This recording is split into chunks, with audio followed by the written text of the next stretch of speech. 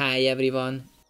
Thanks to the iPadOS 18, this is a really easy step. Now you need to find an app called Passwords. If you can't find it, go to the app library and search for the Passwords app.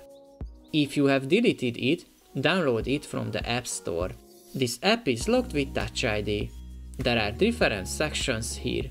For example, you can see passkeys or all saved Wi-Fi passwords in this section. The security section shows if these passwords are easy to guess or have been reused. Now tap on the All button, search for the password you need and tap on it.